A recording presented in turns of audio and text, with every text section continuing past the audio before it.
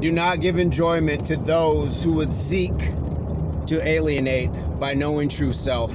Guys, in the easiest terms that I can say, don't give them the satisfaction. Or even simpler, stand up to the bully because that's a lot of times what it is. It's people seeking to put you in a box or to push you out of a box based off of their interpretations of you. You don't need to seek the validation of other people in those uh, in those moments. You know you better than anybody else. Nobody has been around you more than you. At, at any given moment, you're with you. You've learned, you've grown, you've walked that mile in your shoes, you've been in those 10,000 hours. You know your struggles. You know everything about you. You may have friends that know a lot about you, but you know you better than anybody. So if it's that that meathead in the locker room um, because we've all seen that on team sports those of us on team sports if it's just the mean girls in the hallway if it's you know um, just the neighbors if it's that coworker it can be the boss it can be a, in a lot of different places we just know those people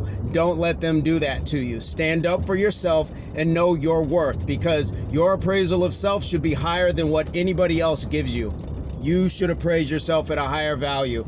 You don't need their validation. Um, hopefully, this helps. I'm going to keep it simple at that.